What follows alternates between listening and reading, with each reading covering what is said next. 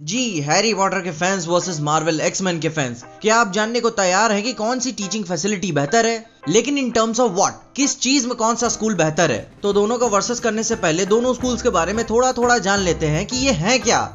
लेकिन उससे पहले इंट्रो हेलो एवरीवन मैं हूँ पीजे और आप देख रहे हैं पीजे एक्सप्लेन तो सबसे पहले अपने हैरी पॉटर के Hogwarts school of witch and wizardry से शुरू करते हैं. तो हॉगवर्ड्स स्कूल सबसे पहली बार खुला था 1990 एडी में। उस समय उसके चार फाउंडर्स थे Godric Gryffindor Helga Hufflepuff Rowena Ravenclaw और सलाजार स्लाथेरिन ये बहुत ही पावरफुल और रिस्पेक्टेड विजार्ड्स थे अपने टाइम में।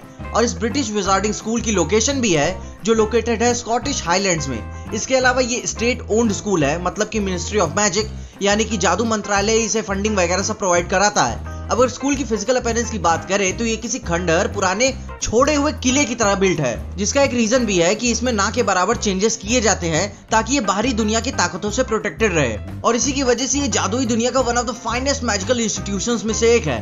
अब इसका मतलब है की ऐसे इंस्टीट्यूशन और हैं।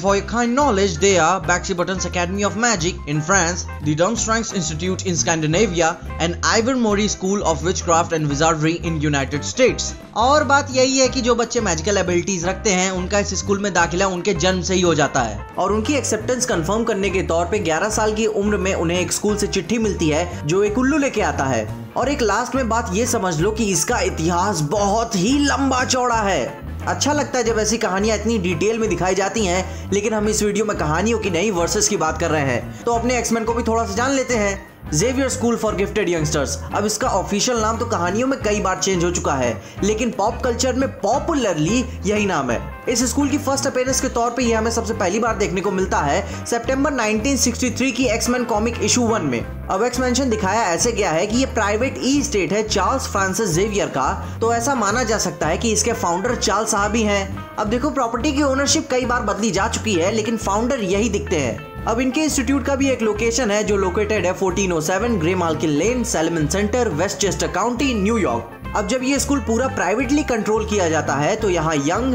टीन एज अडल्ट और कभी कभार तो ओल्ड म्यूटेंट्स तक को पढ़ाया और सिखाया जाता है कि अपनी पावर्स पे कंट्रोल कैसे रखें और उन्हें इनहेंस कैसे करें। और अपने जैसे म्यूटेंट्स और नॉन म्यूटेंट्स के साथ फ्रेंडली ह्यूमन रिलेशन कैसे बनाए रखें। इस स्कूल में एज बैरियर या टेरिटरी बेस्ड रूल्स नहीं है कि आप नहीं आ सकते। अगर आपको मदद की ज़रूरत है तो आपको मदद मिलेगी।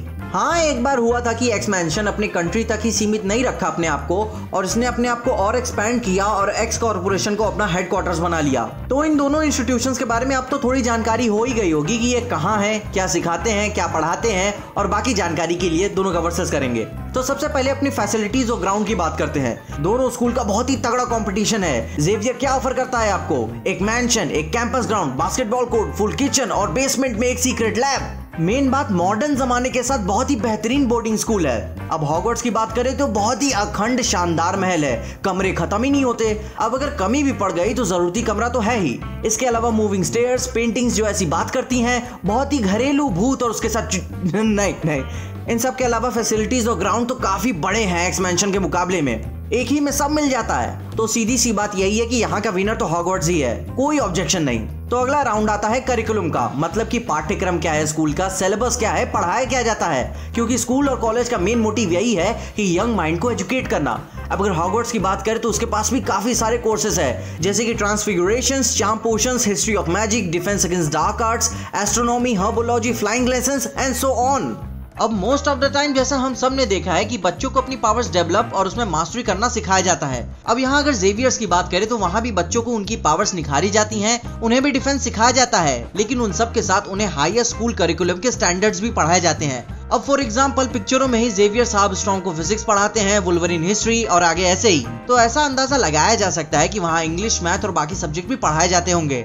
और ठीक यही हॉगवर्ड्स मात खा जाता है, क्योंकि बच्चे वहाँ से निकलने के बाद असली दुनिया में होते हैं तो हॉगवर्ड्स का सबसे इम्पोर्टेंट सब्जेक्ट मगल स्टडीज़ ही होना चाहिए, क्योंकि असली दुनिया में उन्हें नॉर्मल इंसानों के साथ ही इंटरेक्ट करना होगा। और ये बात तो मैं श्योर होकर कह सकता हूँ कि हॉगवर्ड्स में इकोनॉमिक्स बायोलॉजी मैथ लिटरेचर ना के बराबर या पढ़ाए ही नहीं जाते। ये भी एक रीजन हो सकता है क्योंकि जादू मंत्रालय की स्ट्रिक्ट पॉलिसी है आइसोलेशन ह्यूमन वर्ल्ड से। अब यहाँ करिकुलम की फ़ील्ड में जेवियर स्कूल ही जीतेगा, क्योंकि यहाँ बच्चों को उनकी प्रतिभा के हिसाब से शिक्षा दी जाती है। तीसरा राउंड आता है टीचर्स और स्टाफ का, क्योंकि बिना टीचर्स के स्कूल किस काम का? जो अपने बच्चों को प्रोटेक्ट करने के लिए कुछ भी कर सकते हैं। अब एक्समैन की पूरी एक सुपर हीरो की टीम है, ये बहुत ही क्लोज कैटेगरी होने वाली है। लेकिन हॉगवर्ट्स को भी कम मत आको। ये बहुत प्रेस्टिजियस कॉलेज होने के साथ साथ बहुत पावरफुल भी है। एल्बस डम्बलडोर जादुई दुनिया की one of the most powerful magicians में से एक। और इतनी सारी महान पावर्स रखने के बावजूद उन्होंने अपनी पावर से लोगों की हेल्प करना ही चाहा एजुकेट करना ही चाहा। यहाँ तक कि जब तक डम्बलडोर ज़िंदा थे वोल्डेमोर्ट की हिम्मत नहीं थी कि डम्बलडोर के होते हुए वो उनके स्कूल पे हमला कर दे हैरी के लिए। लेकिन पावरफुल होने के अलावा भी उनके पास कुछ बहुत ही एक्सपीरियंस अच्छे स्टाफ हैं। जैसे कि बहुत ही फ़ेमस हॉगवर्ट्स के ग्राउंड कीपर हैग्रिड एक केयर टेकर जिसे बहुत कम ही लोग पसंद है, लेकिन वो अपना काम सही से करता है। फ्लिंच इन सब के अलावा प्रीमाइसिस की अनगिनत पेंटिंग्स वहाँ के भूत बहुत ही बड़ा और ग्रेट इम्पैक्ट डालते हैं स्कूल पे। अब ये एक बहुत ही मामूली प्लस पॉइंट हो सकता है, लेकिन ये एक प्लस पॉइंट है। तो यहाँ टीचर्स और स्टाफ का राउंड तो हॉगवर्ट्स ही जीतता है। Simple answer it's all about greatness चौथा राउंड है एक्स्ट्रा करिकुलर एक्टिविटीज़ अब देखो, किसी भी स्टूडेंट की अचीवमेंट स्कूल को बहुत आगे तक ले जा सकती है। हॉगवर्ट्स बहुत ही इंप्रेसिव रेपुटेशन रखता है क्विडिच स्पोर्ट में as well as Triwizard tournament में भी। लेकिन चाहे जितना भी ये सारे अचीवमेंट्स इंप्रेसिव हों हॉगवर्ट्स बस एक स्कूल तक ही सीमित है। और जहाँ रही जेवियर्स स्कूल की बात, ये डबल काम करते हैं। Storm Cyclops Beast Jean Grey और वुलवरीन दिन में तो टीचर्स हैं, लेकिन रात में दुनिया के खतरों से लड़ते भी हैं, जब भी उनकी ज़रूरत पड़े। इसके अलावा इस काम में वो कुछ अपने स्टूडेंट्स को रिक्रूट करके भी अपने मिशन में ले जाते हैं, जैसे कि आइसमैन रॉक शेडो कैट वगैरह वगैरह। इसका कोई मतलब नहीं निकलता, आप कितने भी टूर्नामेंट्स और अवार्ड्स जीत जाए हॉगवर्ट्स के लिए, लेकिन यहाँ वो इनसे कंपेयर नहीं हो सकते, जहाँ जिस स्कूल के टीचर्स और मेच्योर स्टूडेंट्स दुनिया को बचाने और बुराई से लड़ने के लिए निकलते हैं। जब दुनिया के लोग बचेंगे ही नहीं तो क्या अपनी सीक्रेट सोसाइटीज का अचार डालोगे? ह्यूमैनली वर्ल्ड में भी लोग मरते हैं। और हॉगवर्ट्स चाहता तो अपनी पावर से क्या नहीं रोक सकता था, और कितनों को बचा सकता था। लेकिन नहीं तो एक्स्ट्रा करिकुलर एक्टिविटीज़ का राउंड भी चार्ल्स जेवियर्स स्कूल ही जीतता है। अगर आपके पास एक्सटेंशियल पावर्स है तो लोगों की मदद करनी चाहिए। सीरियसली ओह बेबी तो अब तो दोनों इक्वल हो गए। लेकिन फाइनल फैसला सुनाने से पहले हम एक लास्ट राउंड और करेंगे, जहाँ तस्वीर साफ़ हो जाएगी कि इस महान प्रतियोगिता का विजेता कौन है। तो लास्ट राउंड है सेफ्टी और सिक्योरिटी का। दोनों इंस्टीट्यूशन ने एक टाइम पे अपनी गांड तो मारी है। अब जो बच्चे वहाँ पढ़ रहे हैं, अगर सेफ़ महसूस ही नहीं करेंगे, हमेशा डेंजर में रहेंगे, डरेंगे तो पढ़ेंगे कैसे? और बढ़ेंगे कैसे?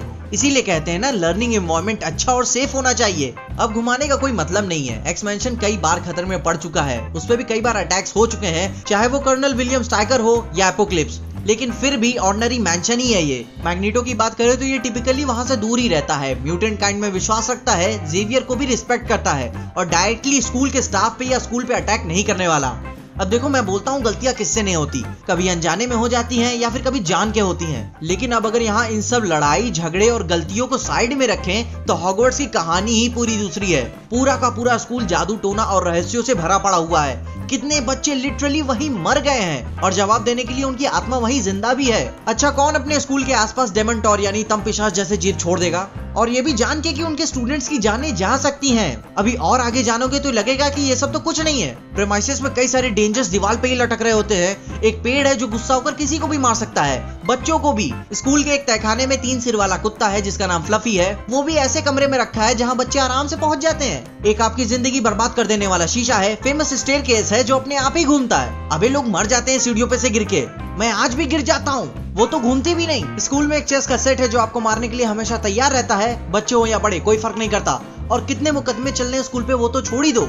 चेंबर ऑफ़ सीक्रेट्स में ही डम्बलडोर ने कहा है Hogwarts is not safe anymore मैं बोलता हूँ सेफ़ कब था तुम्हारा स्कूल अगर असली ज़िंदगी में ये स्कूल एग्जिस्ट करता तो बच्चों की जान खतरे के डालने के आरोप में इसे सालों पहले ही बंद कर दिया जाता। तो इतना सब कुछ कहने के बाद इन लास्ट सेफ्टी और सिक्योरिटी के राउंड में Xavier school for gifted youngsters ही जीतेंगे। सिंपल है भाई सेफ्टी के मामले में जेवियर ही जीतेगा। इतना सब सुनने के बाद तो कॉमन सेंस लगा ही सकते हो। तो रिजल्ट्स क्लियर हैं स्ट्रेट सिंपल फॉरवर्ड और इन सब बेसिस के हिसाब से देखा जाए तो जेवियर स्कूल ही जीतेगा. लेकिन फिर भी हो सकता है आपका सोचने का नज़रिया अलग हो। मैं उसकी इज़्ज़त करता हूँ। आप अपने वैलिड पॉइंट्स नीचे डाल सकते हैं जो बिलीवेबल लगे। तो अटेंशन हैरी पॉटर्स के एंग्री फैंस आप नीचे कमेंट डाल सकते हैं। मैं फिर भी आपसे प्यार करूँगा। इन सब पॉइंट्स के अलावा अगर आपको लगता है कि पीजे ने ये पॉइंट नहीं कवर किया, या फिर ये फैक्ट मिसिंग है यहाँ से तो कमेंट्स में उसके बारे में मुझे नीचे ज़रूर बताएँ। मेरी कोई डिसरिस्पेक्टफुल होने की बात नहीं है। मैं भी हैरी पॉटर सीरीज़ को पसंद करता हूँ, इसीलिए ना वीडियो बनाई। और एक लास्ट सवाल, इतना सब कुछ देख ही लिया है आपने? तो अगर आपको कभी मौका मिले तो दोनों स्कूलों में से किस स्कूल में शिक्षा को लेने जाएँगे? अब यहाँ गलत मतलब मत निकालो, किस स्कूल में शिक्षा को लोगे? तो कैसी लगी आपको वीडियो अगर आपको इस वीडियो में देख के कुछ भी अच्छा लगा, खुशी हुई या मज़ा आया तो लाइक मार दो इस वीडियो को। इस चैनल पर नए आए हो सब्सक्राइब तो मार ही दो इस चैनल को। और ज़्यादा अच्छी लग गई तो अपने दोस्तों शेयर भी कर देना। मेरे इंस्टाग्राम ट्विटर और टिकटॉक हैंडल्स आपको नीचे डिस्क्रिप्शन में मिल जाएँगे। और देखते रहिए। टीजे एक्सप्लेन उस गंजे के घर में रहकर जहाँ तुम एक साथ उठते, बैठते और सब कुछ करते हो, जिससे मुझे तुम सब पर शक होता है। उस दिन।